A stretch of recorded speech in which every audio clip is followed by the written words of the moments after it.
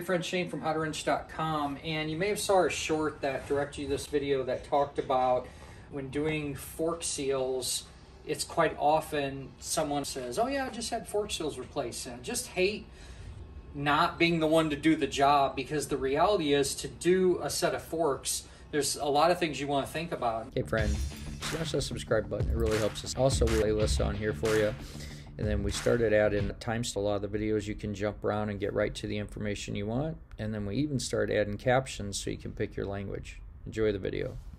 One of the things that you want to think about is that when these are assembled, we're just kind of laying our parts out right now. We're going to organize it even better. But every time you stop the motorcycle and you grab that brake, there's binding here.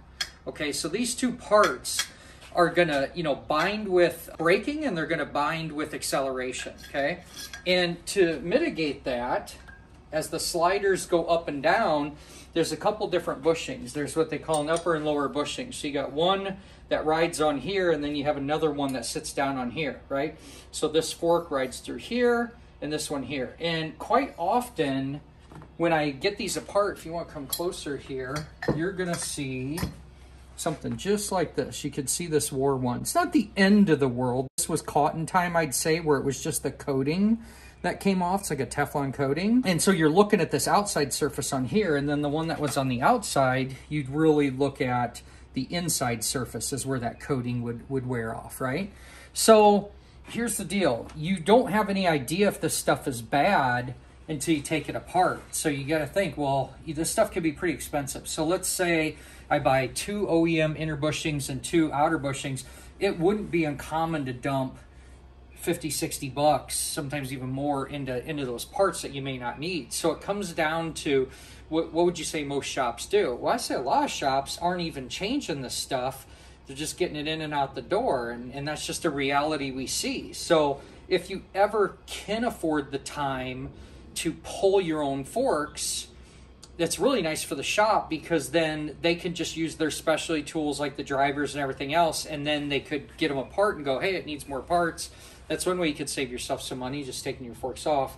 But here's the big reason we made this video for this triumph. So when we got in here Vice here brought me his parts. I said hey you're missing these. He said nope can't get them i'm like no whatever. So we go the parts fiche and sure enough we go and look it up, and the only way you could get this bushing was to buy the whole fork tube with it, and it was like 250 or 300 bucks or something like that. Do you remember what it was? 250. 250, okay?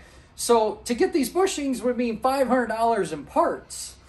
Now, one of these with a tiny little rock chip in there, maybe, maybe not, right? But this is something you need to think about is that most people you know, it gets to a point with some, especially older bikes, where you're going to junk the bike over a set of forks. You're not going to put thousand dollars into forks by the time you do labor, a couple sets of tubes. I mean, if you're at five hundred dollars right here, and then you're doing seals and oil and labor, it would not, it would not be uncommon to see a seven, eight hundred dollar bill pretty easy. And like I said, that would junk a lot of vehicles out there. So, one cool thing that we found that is a solution to this is all balls. So All Balls makes a service kit here. Now this is not the fork seals. They have separate kits for that. So if you're doing this, you got to know, well, am I just doing a like a the oil seal and the dust seal? That would be one traditional kit. But what this has here is it came with all the bushings, the crush washers. It came with everything in here. Even got some stickers. but this is pretty handy as a single source part number for uh, just getting everything you need as far as the internals. Now, it actually came with extra pieces because that one kit fits multiple different models. So my caution there is you got to be really careful to compare up the parts that are in there with what you actually need. But what's going to be great about this is we're going to be able to get Tobias's uh, Triumph here back in perfect working order. To be this far apart and to have to put a less than perfect parting kind of sucks, especially when it's inexpensive. How much was that all balls kit? Uh, about 40 bucks. 40 bucks, yeah. okay.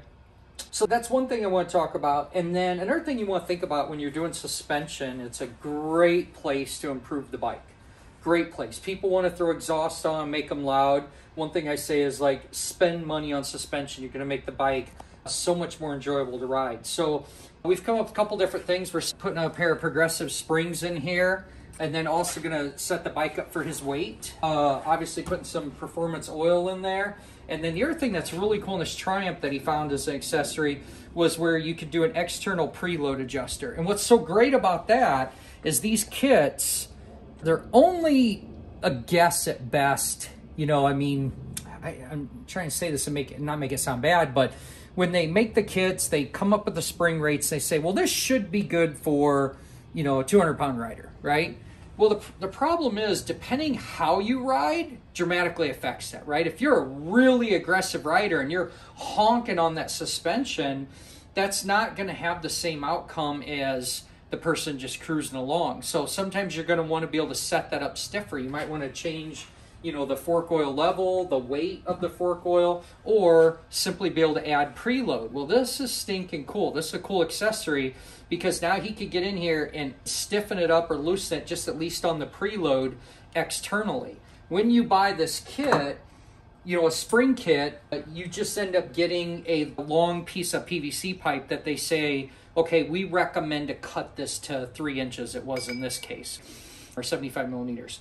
But the sometimes people will take the steel tube and just cut it down, but you're going to come up with this, but then you're married to it.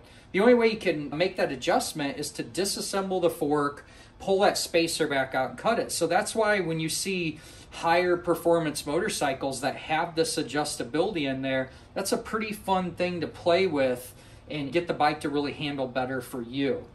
So, one thing to think about in that case too is where we had this aftermarket preload adjuster, we had to take out this difference in what that recommended uh, three inches was. So what we did is we took this aftermarket spacer and our adjuster, if you will, and we just put it in the middle of its range. So what that's going to allow Tobias to do is if he goes, you know what, I didn't really like that three inches from here to here. He's going to be able to go in there and go, hey, I want to soften it or I want to tighten it. And now he's taken that and providing some flexibility by using the middle of the range of this adjuster you know, use your guidelines from your manufacturers. They might, you know, already know like, hey, we know that our middle of the spec is for a 180 pound rider. Then you know, like, okay, I'm gonna I'm gonna move this direction. But like you said with these, they didn't come with any directions. matter of fact, they were even assembled wrong when we started looking at it. We were like, wait a second, that's just gonna pop right off. So we kind of had to do some playing on that to get that in order. But those are my tips for just thinking about what you need to check and what parts and whatnot when doing your front forks. Often forgot about are those bushings. All right, my friends, make sure and like, share, subscribe, make it a great day, and keep wrenching. Hey, friends, we're super excited to announce that the How to Wrench channel has been approved for memberships. What's that mean for you? What would it look member only content? Many of you have been asking over the last years surveys that you missed the old deep dive long videos and the real explain content. Those are very hard to produce and they're very costly. They take an immense amount of time, especially to make it uh, creative and interactive for you to get that deep understanding. We have a lot of schools, institutions, do-it-yourselfers. I mean, from all over the world in over 200 countries are using our content to get a deep understanding to help themselves or to advance in their career. Well, those videos back. That's the kind of content that's going to go in this membership channel because we can offset some of those costs. So that's one, you're going to get the deep dive videos. Two, you're going to get access to member-only streams and live chats to where you can actually call in, ask questions, and get answers on the spot and have a, a back and forth Q&A session with other members as well. We're super excited about that. And with the member channel, it's going to really make it more intimate. We're going to be able to bring that back into more of a community instead of all the yahoos out there that are just causing trouble and being idiots. This community is always and getting those answers to the questions we need. You got to remember, I love YouTube too. When I want to learn something, it's quite often one of my first go-to places to get information or to learn something. So we love that we can do this for you as well, and we just want to make this uh, a community that is more attentive. So we want to be more relationship focused. The other thing is, YouTube does this, I think it's kind of funny, but we're doing the emojis. So if you're a new member, it's going to be a green one. We kind of went along the lines of like a training does in most uh, certification programs. Bronze is your entry level, a silver is your middle of the road, and then gold is your, you know, top certified. But we added one more. We added a red one just to say, hey, thanks for all the love after you've been here for a while. So for all you that love that kind of stuff, hey, it's there for you. Um, what else are you going to get with this? What you're going to get is really honestly, in, in, my opinion, it's really a way just to say thank you. We've tried really hard over the years to figure out creative ways to not beg, if you will, but to try and encourage and remind people that, hey, I time job, like I do this and have always done this on my own buck, all the own. As I move to this new location, Phoenix, it's really expensive. It costs a lot to be able to do all this, and we really do need your help to offset. For you to really easily just say thank you and create that, you know, like I said, that deeper relationship with us as well to get the answers that you want and you need.